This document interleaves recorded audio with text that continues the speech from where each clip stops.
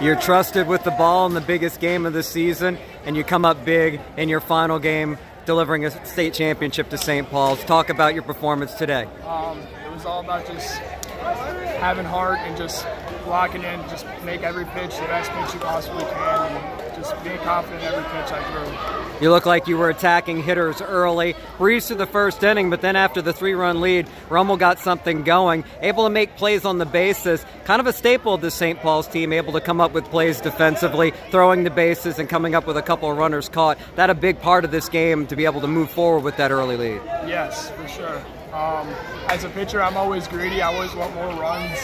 That's, that's just how I am. I never think enough is enough. Um, but yeah, that's a big part of the game for us. 11 seniors coming this far last year as juniors coming up a game short and getting the job done today. Just talk about the emotions of getting over the hump and delivering a state title to a school for the first time in 20 years. Yeah, well, you know, that was our mission statement the whole year was unfinished business and to finally be able to do it. Um, it it's, it's an indescribable feeling. Today's probably one of the happiest days of my life. Um, 20 years, it's just something, something great to get back to the school. And it's nice to have a senior class that's this good and this successful, but then have a sophomore closer like Connor Simon. Yes. You had to feel pretty confident he was going to close the door again sure, for you. Always.